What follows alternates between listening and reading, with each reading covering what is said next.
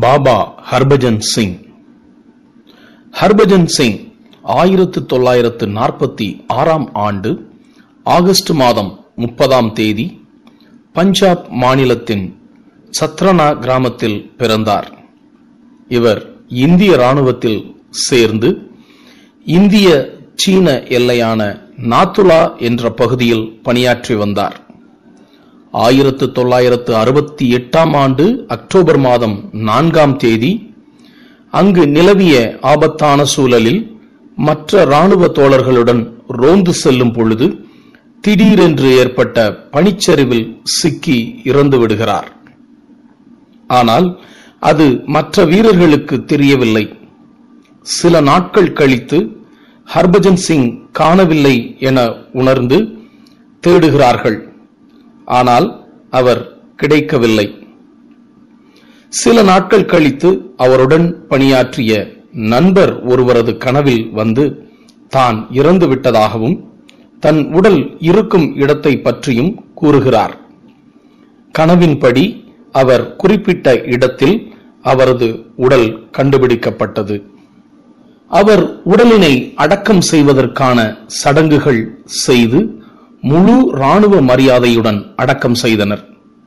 சில நாட்கள் கழித்து ஒருவருடைய கனவில் வந்த ஹர்பஜன் சிங் அவர்கள் தான் உடலால் இறந்து விட்டாலும் தன் ஆன்மா தன் நாட்டினை பாதுகாக்கும் பணியினை தொடர்ந்து செய்யும் என்று கூறியதாக அந்த வீரர் கூறினார். ஆனால் அந்த கனவினை அனைவரும் புறக்கணித்தனர். மற்ற வீரர்களின் கனவிலும் தொடர்ச்சியாக வரத் தொடங்கினார் ஹர்பஜன் சிங். தன்னுடைய சக வீரர்கள் பணியின் போது தூங்கினால் அவர்களை எழுப்பி விடுவார். சீனா நம் மீது எந்த நடவடிக்கையும் எடுக்கப் போனால் அதனை யாராவது ஒருவருடைய கனவில் வந்து தெரிவிப்பார். இதனை அறிந்து வீரர்கள் தனது உயர் அதிகாரிகளுக்கு தகவல் தெரிவிப்பார்கள். அவர்கள் ஆச்சரியப்பட்டு போவார்கள். ஒரு இந்திய வீரர் ஒரு வெள்ளை குதிரையில் இரவு நேரங்களில் எல்லையில் சுற்றி வருவதாக சீனா தெரிவித்தது. இதனை இந்தியா மறுத்தது. நாங்கள் எங்கள் வீரர்களை குதிரையில் ரோந்து செல்வதற்கு அனுமதிப்பதில்லை என்று கூறியது.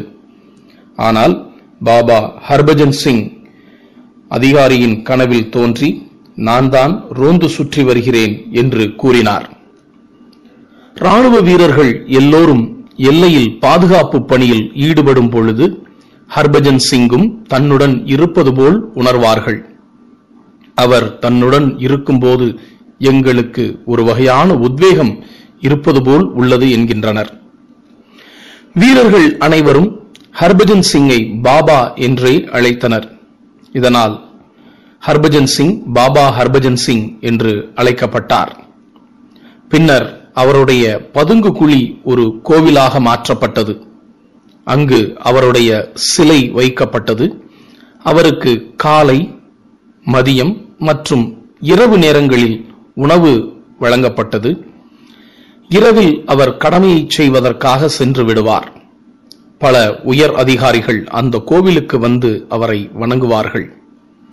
மக்கள் ஒரு லிட்டர் தண்ணீர் பாட்டில் கொண்டு வந்து அவருடைய இடத்தில் வைத்துவிட வேண்டும்.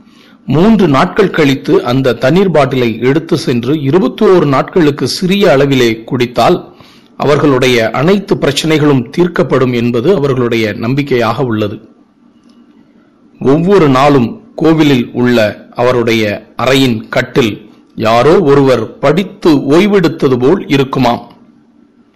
ஹர்பஜன் சிங் ஒரு சாதாரண ராணுவ வீரராக பணியாற்றி வருவதாகவும் அவருக்கு சம்பளம் மற்றும் பதவி உயர்வு போன்ற சலுகைகள் அளிக்கப்பட்டன.